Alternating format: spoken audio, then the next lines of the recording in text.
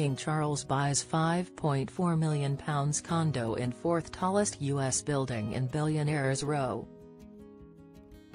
King Charles has bought a £5.4 million New York condo, that reportedly is his 24th property in the city and is in the fourth tallest skyscraper in the United States.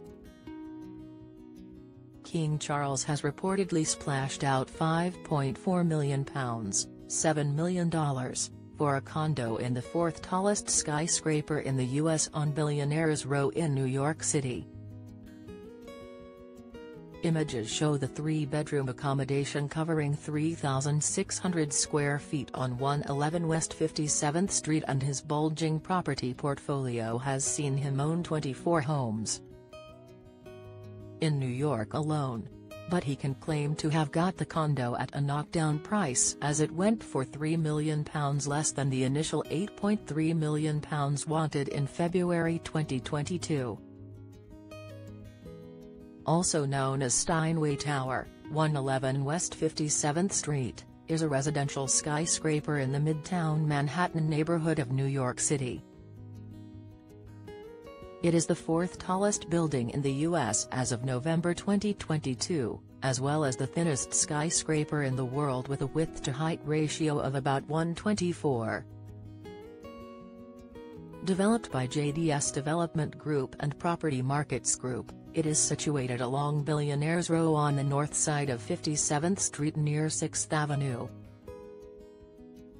The main portion of the building is an 84-story, 1,428-foot tower designed by SHoP Architects and completed in 2021.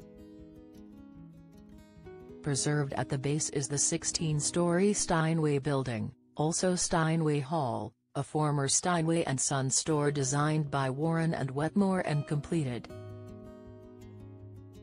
In 1925, which originally carried the address 111 West 57th Street.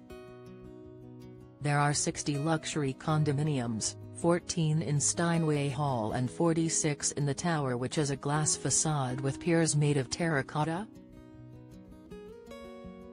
its pinnacle contains setbacks on the southern side. Steinway Hall, a New York City designated landmark, contains a facade made mostly of brick, limestone, and terracotta. And Charles won't need to head out far for amenities with plenty inside the 91-story building's base. They include a swimming pool with private cabanas, a fitness center, a private dining room and a golf simulator. Public records show that a buyer under the moniker His Majesty the King in Right of Canada paid $6.6 million for Unit 11A. One of the supertall's 14 residences located in the storied piano brand's former flagship store and concert hall.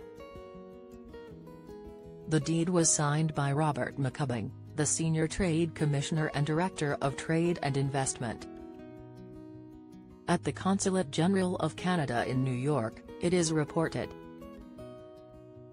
While there have been a number of discount sales in the skyscraper there have also been some eye-watering amounts paid including for a penthouse sold for $53 million in October. The all-cash deal closed for $7 million less than the asking price listed in the building's offering plan.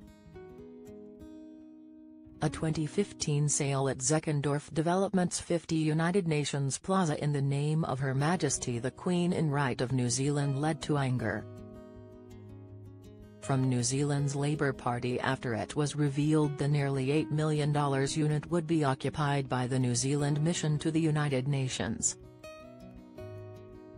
Buckingham Palace and Douglas Elliman's Erin Boisson Aries and Thomas Abo who represented the buyer have been contacted by the Mirror.